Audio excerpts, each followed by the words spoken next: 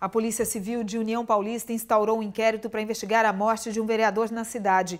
O enteado da vítima é o principal suspeito.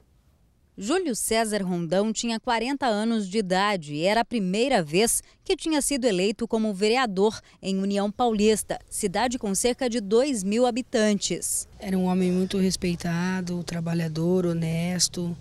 E foi uma fatalidade, né, que a gente está todo mundo aqui, não dá nem para acreditar, né? Segundo o delegado responsável pelo caso, o vereador foi atingido com golpes de facão, um deles na cabeça fatal. A Polícia Civil instaurou um inquérito para apurar as causas e como o crime aconteceu, mas até o momento o enteado da vítima é o principal suspeito pela morte do vereador. O próprio adolescente de 17 anos procurou a polícia depois do crime.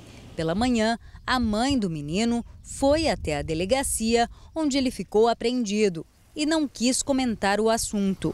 No velório, realizado na Câmara Municipal, o clima era de tristeza. Abalou bastante, né? Porque era uma pessoa que eu conhecia muito, era amigo do meu pai, da minha mãe, não saía lá de casa. A gente sempre vê, mas acho que nunca vai acontecer aqui, né?